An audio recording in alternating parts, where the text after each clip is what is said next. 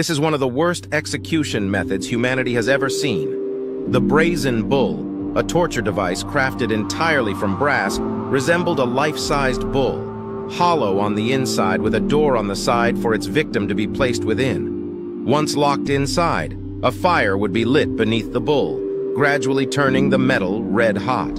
As the temperature inside the bull rose, the person trapped within would begin to roast alive.